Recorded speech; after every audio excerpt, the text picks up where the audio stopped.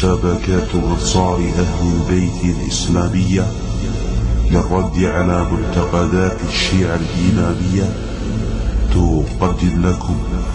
بسم الله الرحمن الرحيم. حسن تعلق بي واحتل وجداني واحتل وجداني. وأذرف العين من دمع كهتان دمع كهتان لكم شجاع رغم كل المحن والظروف التي تعصف بالمسلمين هنا وهناك نرى البعض يسعى لخرق الوحدة الإسلامية بل يتفنن في الاستفزاز الطائفي البغيض.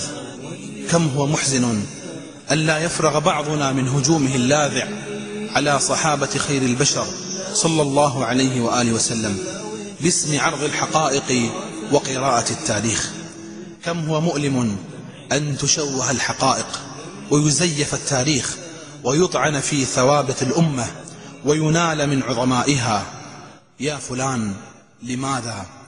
ولمصلحة من؟ ولمصلحة من؟ ولمصلحة من؟ إنه تعلمون كما في الروايات حينما الإمام المهدي صلوات الله عليه سيظهر حينما يظهر فإنه أول ما سيقوم به هو إخراج أبو بكر وعمر من قبريهما وصلبهما وإحراقهما على الشجر في المدينة أمام ملايين من المشاهدين. ولكن في الواقع اللي كلان ما يهم ينتقم من أبو بكر وعمر. خصوصا في هذا الزمان يقول لك تقية ما تقية كله باطل كله كذب في كذب. لا تقية في هذا الزمان.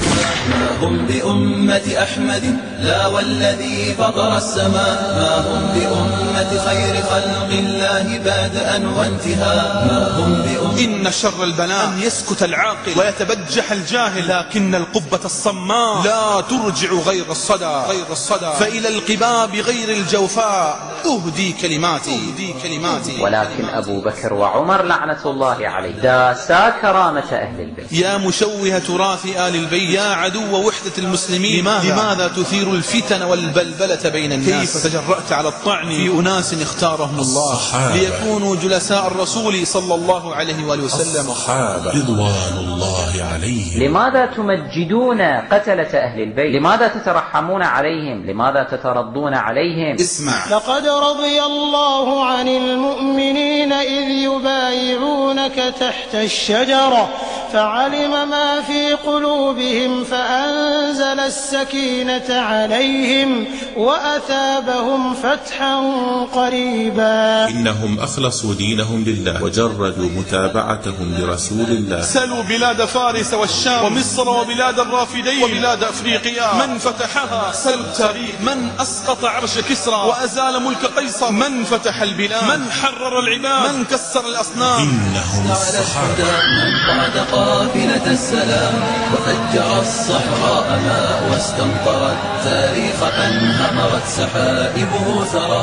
وغزا الظلام وجاء بالحق المنور حين جاء لم يفقهوا بدرا ولا همت ركائبهم حرا. أبو بكر بن أبي قحافة عمر بن الخطاب عثمان بن عفان طلحة بن عبيد الله سعد بن أبي وقاص أبو عبيدة بن الجراح خالد بن الوليد المغيرة بن شعبة عمرو بن العاص. وأبو موسى الأشعري. وعبد الرحمن بن عوف. لعنة الله عليهم جميعا.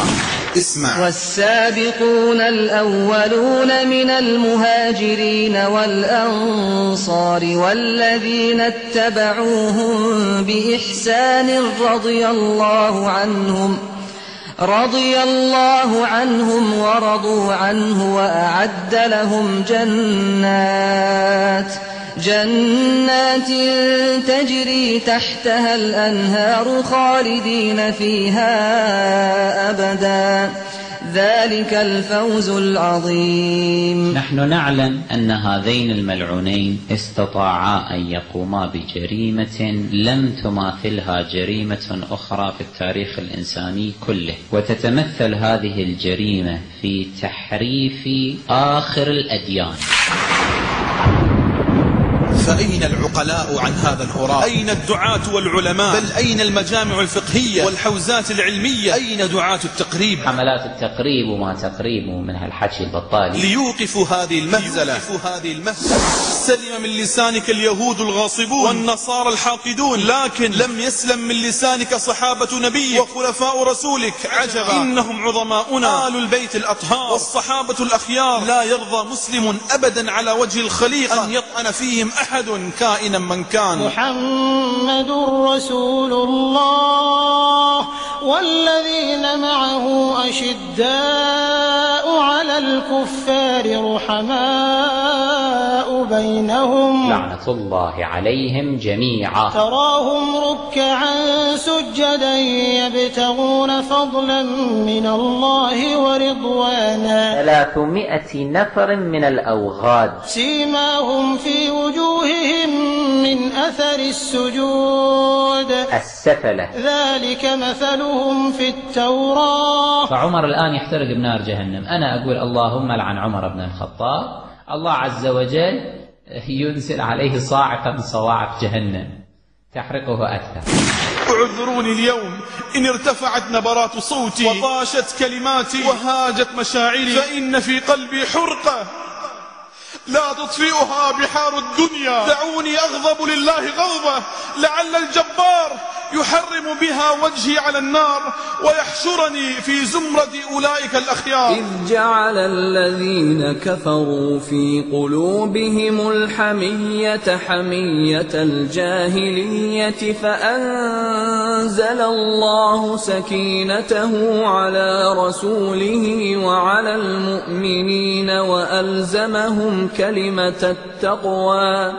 وألزمهم كلمة التقوى وكانوا أحق بها وأهلها وكان الله بكل شيء عليما. رحمك الله يا أبا الحسن فلكم وقفت في وجوه الطاعنين بل كان أبو بكر أعق يعني عاق. كان والله أحسد قريش كله. شتم الناس أبا بكر الصديق فوقف علي مناديا لا تسبوا أصحاب محمد. ما يرضى أن واحد خسيس مثل عمر لعنة الله عليه. شتم الناس عمر الفاروق فوقف علي مدافعا لا تسبوا أصحاب محمد. عائشة كانت تفعل كذا وكذا وكذا وكذا وكذا. يعني شوفوا أم المتسكعين. طعن الناس في عرض رسول الله. فوقف علي شامخا. لا تسبوا أصحاب محمد.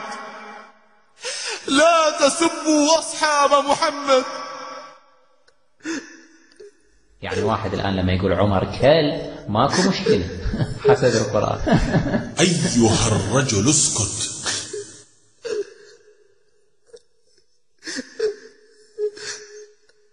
أسن تعلق بي واحتل وجداني واحتل وجداني وأذرف العين من لا تسبوهم فإنهم أصحاب نبيكم وهم أصحابه الذين لم يبتدعوا في الدين شيئا ولم يوقروا صاحب بدعة.